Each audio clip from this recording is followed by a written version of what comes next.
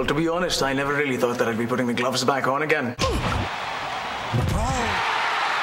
I've just been really into my magic for the last few years.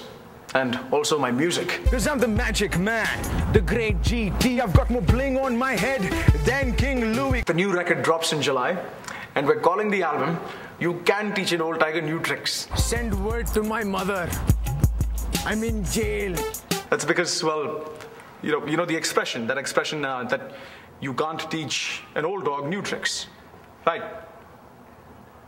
See, because you wouldn't teach a new tiger old tricks, would you? That would be ridiculous. That's why you can teach an old tiger new tricks. It was. I performed last week. I, uh, twice, two different dates last week. So let's give him a warm Sunny Meadows welcome to Mr. Tiger.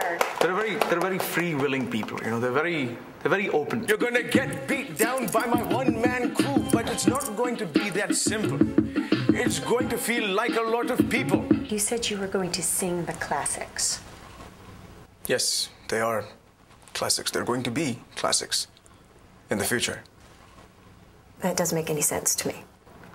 The match is a month away. How do you feel about going up against Little Mac?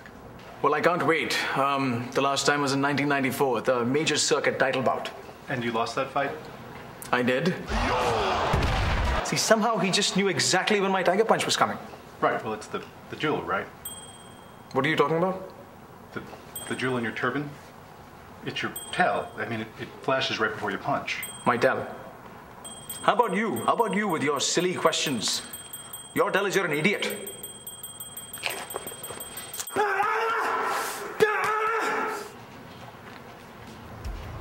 Any further inquiries?